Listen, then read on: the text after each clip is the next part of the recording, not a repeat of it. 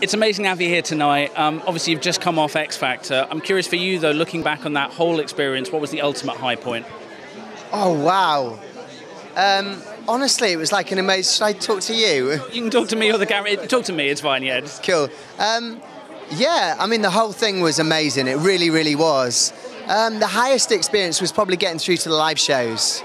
To know that I'm going to perform in front of millions of people live, you know, that was incredible. To work with Simon was, you know, was amazing, and all of the team.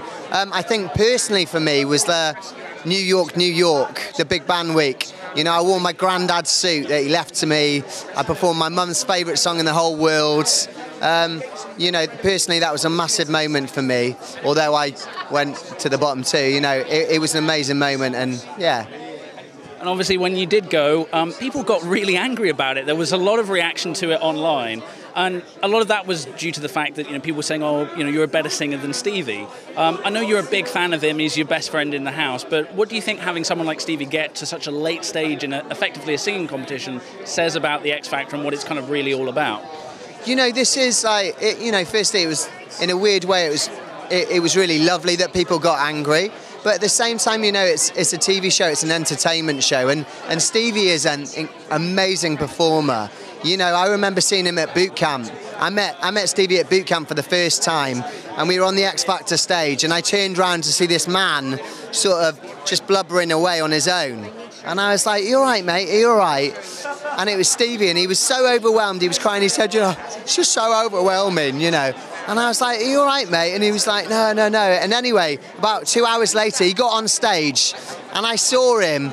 And I was just about to do the biggest thing in my life perform on the X Factor stage in front of judges. For a minute and a half, I forgot everything watching Stevi. He brought so much joy to my heart and he gave me that element of escapism. And I think that's what you aim to do as a performer, is give people a moment where they forget about everything and enjoy it. That's what Stevi does. And I think that's why Stevi's important to this competition.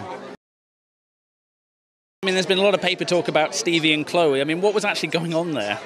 Well, there was nothing. There was nothing too much going on. I know they really liked each other, you know, um, but she had a boyfriend, so that that that was the sort of, you know, there was a lot of things read into too much or whatever else. But you know, they were, you know, they were they were close. But um, yeah, I, am I'm, I'm not sure that's a thing anymore or, or was ever going to be a thing. But you know, looking to the future, what have you got coming up yourself? What are you hoping for?